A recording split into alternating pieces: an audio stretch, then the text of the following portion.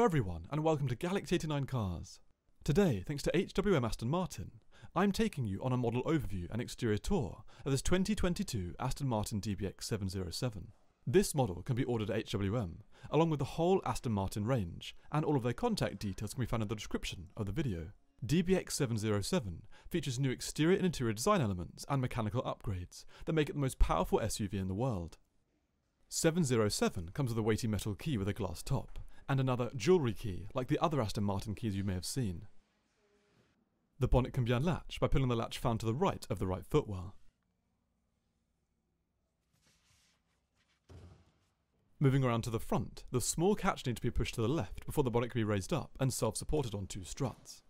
707 is powered by the 4-litre twin-turbo V8 found in the standard DBX, but that now produces 697 brake horsepower and 900 newton-meters of torque, an increase of 155 brake horsepower and 200 newton meters of torque. This power increase results in a 0 to 62 mph or 1 km per hour time of 3.3 seconds, and a top speed of 193 miles per hour.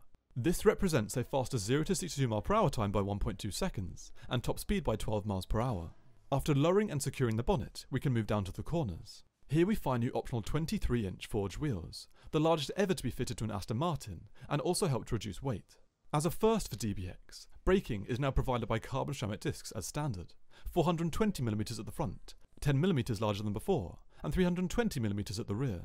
Stability and control has also been enhanced thanks to upgraded power steering, air suspension, and limited slip differential.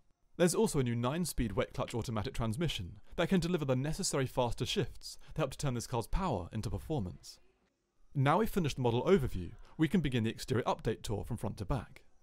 At the bottom, we find a new carbon front splitter that raises up at the sides with new canard-like structures, enhancing front downforce. Above these, we find new air vents that aid brake cooling, and new LED strip daytime running lights, replacing the rounded lights. Moving in and up, we come to the larger front grille, with the double vane slats that are always reserved for the highest performance models, increasing air intake to the engine and creating a more dynamic aesthetic. Moving down to the lateral aspect, we find larger side skirts, now finished in carbon fibre.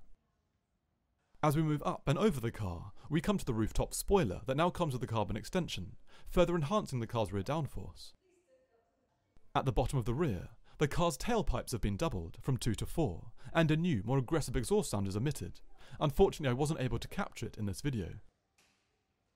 Below the tailpipes are new canards that help to streamline the air coming from the rear wheels. One of the most dramatic exterior changes is the much larger diffuser, further enhancing the car's new aerodynamic profile even further. There are also interior changes, but unfortunately I wasn't able to show them in this video. Thank you again to HWM Aston Martin for inviting me to film this video on the new Aston Martin DBX707. You can find all of their contact information in the description of the video. Please subscribe for the latest content, and until next time, thanks for watching.